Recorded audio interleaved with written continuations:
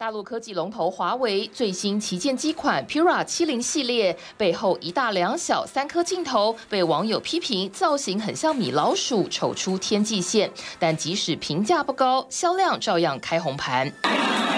广东深圳旗舰店外人山人海，为的就是抢十八号早上十点零八分开卖的最新高阶手机。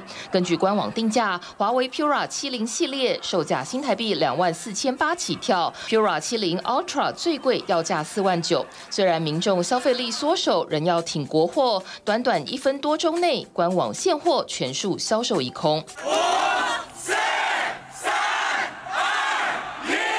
今年三月下旬，苹果在上海打造全球第二大旗舰店。不过，华为挑战来势汹汹，iPhone 今年前六周的大陆销量年减百分之二十四，市占率变成老四。反观华为暴增百分之六十四，市占重回第二。分析师认为，大陆出现爱国情绪，外加经济不景气，都是拖累苹果全球手机销量重衰百分之十的主要原因。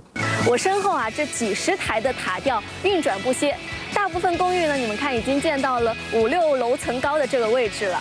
这些呢，就是为华为科研人才提供的幸福温暖家，占地四十八万平，耗资上百亿人民币。华为打造的最大研发基地，规划了大学院校、商店街和人才公寓，将延揽三万多名人才进驻，专精研发晶片和物联网技术，力求在欧美围堵下走出自己的路。TVB 新闻综合报道。想看最完整的新闻内容，记得下载 TVBS 新闻网 APP。